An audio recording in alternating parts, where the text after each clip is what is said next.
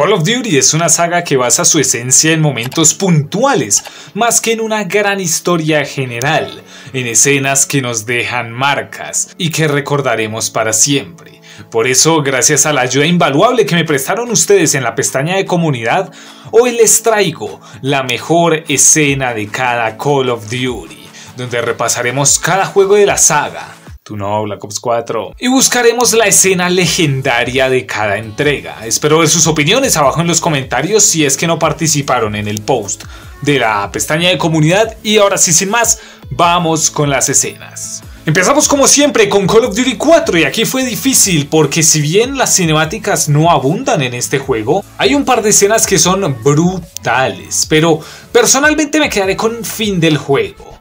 ¿Cómo olvidar Griggs tratando de salvarnos y muriendo en el intento? Sakaev ejecutando al resto de nuestro equipo, la música increchendo, la, la tensión en aumento y la aparición del Hind de Kamarov. Y finalmente Sakaev cayendo ante nosotros. ¡Buah! Es una escena increíble y la verdad creo yo personalmente que no había mejor manera posible de terminar un juego como este y sin duda es la mejor escena.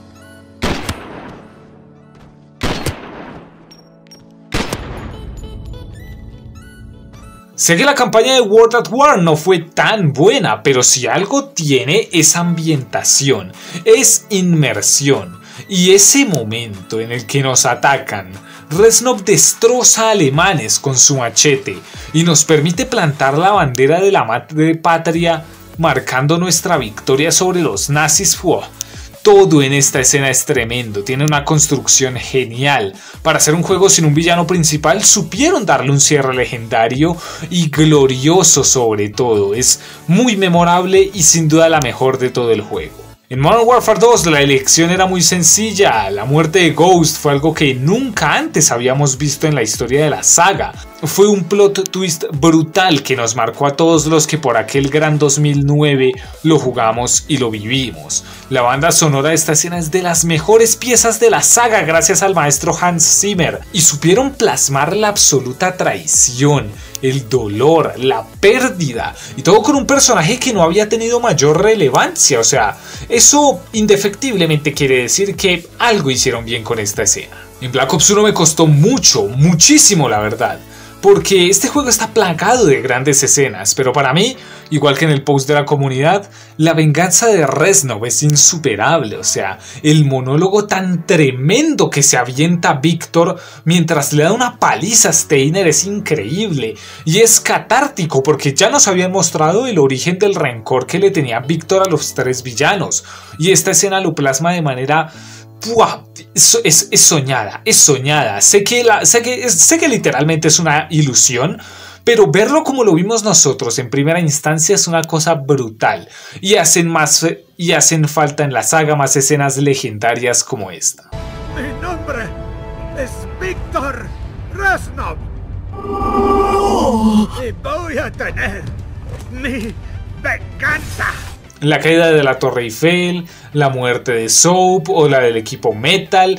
Este juego está repleto de escenas increíbles, tanto que no hemos vuelto a ver algo así en la saga. Pero sin duda la que se lleva el título de la mejor escena es la muerte de Makarov. Es una escena perfecta, se construye y se desarrolla de manera ejemplar. Como parece que Price morirá, pero Yuri lo salva y esa ira de Price, la golpiza, la brutalidad del ataque y al final el ver colgado al mayor de sus enemigos, mientras se fuma un habano, o sea, mientras se fuma un habano, sencillamente legendaria, melancólica, triste, pero al mismo tiempo muy épica. Todo lo que debe tener el final de una trilogía de este calibre. Black Ops 2 no tuvo tantos momentos como los juegos anteriores, es verdad, pero si hay una escena que debo destacar es la de Suffer With Me, sufrirá conmigo. Una escena muy trágica, mucho más oscura de lo que la saga nos tiene acostumbrados. Mason muerto en el suelo, Woods lisiado, Hudson siendo asesinado, el pobre David quedando con un trauma permanente, o sea, encontrando el cuerpo sin vida de su padre. Esta escena es de lo más oscuro, melancólico, trágico. O sea, la expresión de Woods posterior a la escena lo dice todo. El monólogo de Menéndez, su tremenda actuación, la construcción previa de la rivalidad entre Woods y Menéndez, o sea, el significado que tiene la trama. Esta escena básicamente es toda la trama de Black Ops 2 y es sencillamente maravillosa y tenía sí o sí que meterla aquí. Al parecer el video estará plagado de muertes, ya que la muerte de Elias es de lejos lo mejor de Call of Duty Ghost y uno de los mejores de toda la saga. La manera en la que Rourke destroza no solo los cuerpos, sino las mentes de Elias, Logan y Hesh momento tras momento. O sea, la tortura no es solo física, sino que es psicológica. La, la manera en la que se lleva a cabo, la manera en la que, en la que Rourke disfruta el acabar con el hombre que cree que lo abandonó, el sentimiento tan tremendo que hay padre-hijo, y ojo aquí un detalle que poco se observa, la desesperación del pobre Hesh. O sea, imagínense el no poder hacer nada. Por lo menos Elías y Logan se tenían entre ellos y se miraban. Y Elías le pudo decir a Logan lo, lo, buen hijo, lo buen hijo que era. Pero y el pobre Hesh no estuvo ahí más que como un observador. O sea, no, y esa, y, esa, y esa frase final de Rourke es sencillamente de lo mejor que hay en la saga, de las escenas más crudas y sobre todo emocionales que nos han dado. Advanced Warfare es un juego muy curioso y la escena que escogí creí que lo ejemplifica muy bien. Este juego es el primero de la saga en introducirnos a un villano bien hecho, con el que se puede empatizar verdaderamente. Ya se había hecho un intento con Shepard al igual que con Rourke, pero nada como Jonathan Irons. Su discurso sobre la democracia es una muestra de que el villano no siempre tiene que ser el villano, muestra que puede tener razones, motivos, ideales nobles, una causa justa, pero también muestra que hay que ensuciarse las manos si se quiere conseguir sus objetivos. Sé que es solamente un monólogo del gran Kevin Spacey, de eso es que se hace a diario, pero me sirve perfectamente para ejemplificar lo única que es esta entrega. Black Ops 3 fue un juego muy curioso, donde todo el tiempo jugamos en la borrosa línea entre la realidad y Corvus, pero creo que la escena final sin duda es la más emblemática del juego.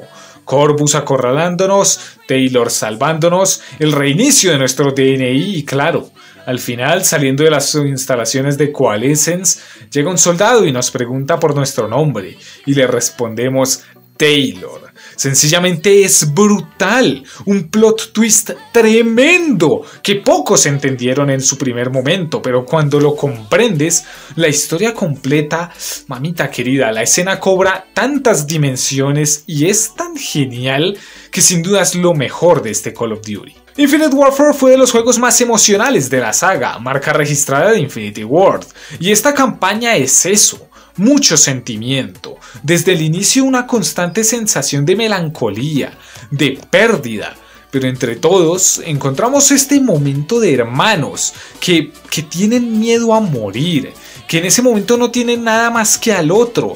Es una escena épica, sentimental, que lo tiene todo y que ejemplifica a la perfección el mensaje, el mensaje de este juego, ya que al fin y al cabo no se lucha para destruir a lo que se odia, sino que más bien se lucha para proteger a lo que se ama. Una escena genial que hizo que un robot nos robara el corazón. Y sin duda es lo mejor de este juego y de las mejores escenas de la saga, ya les digo yo. Pasamos con World War II, un juego con una gran campaña, la verdad, y nos dejó un momento que creo que a todos nos marcó y fue la muerte del teniente Turner.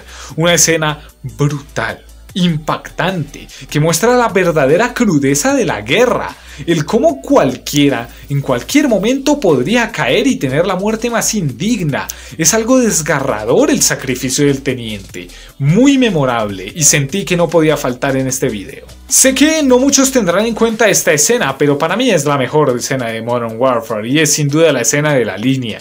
Sé que es un diálogo muy sencillo, no es más que una simple conversación entre Price y Garrick, pero para mí es mucho más. La pregunta que hace Gas es algo que, que rompe esquemas, que rompe paradigmas. Es la primera vez en toda la saga que un personaje se cuestiona lo que hicimos, porque ciertamente hicimos algo inmoral, y es la primera vez que alguien se lo cuestiona, tiene verdaderas dudas, y la respuesta de Price es aún más monstruosa. No hay más que añadir, es un ultimátum, es una prueba de fuego tanto para Kyle como para el jugador Es una escena de esas que, para mi gusto, hacen falta en Call of Duty porque es, es, es, muy bueno reflexionar sobre lo que se hace en los juegos de este estilo y la escena de la línea, por lo menos eso era lo que pretendía. Vamos con Cold War, otro juego con demasiadas escenas buenas, con escenas excelentes, pero si una destaca por sobre la mayoría, esa tiene que ser la traición de Adler. ¡Buah! ¡Qué pedazo de escena! Ese gran final en el que todos sentimos que algo no cuadra. No sé, la sensación previa es muy extraña. Entonces vamos a ese peñasco con Adler, nos da un discurso y al final Ambos personajes desenvainan sus armas e intercambian disparos. Warzone al final mató el suspenso que tenía esta escena revelándonos que obviamente Adler asesinó a Bell, pero es increíble este final, tan sorpresivo como tan, tan de repente, tan épico, pero a la vez oscuro, que sin duda es de los mejores finales de la saga, porque al igual que la línea, nos hizo cuestionarnos si estábamos haciendo lo correcto y si valía la pena arriesgar nuestra vida por lo que lo hicimos. Bell al final salvó a muchas personas, pero miren cómo murió, o sea, yo no sé, es una escena con una carga brutal, la verdad, que me, me encantaría verlo otra vez. Y para terminar vamos con Vanguard. La verdad es que Vanguard no es un juego muy memorable, es más, es absolutamente todo lo contrario, es totalmente genérico y olvidable. Pero bueno, ya saben lo que es Vanguard.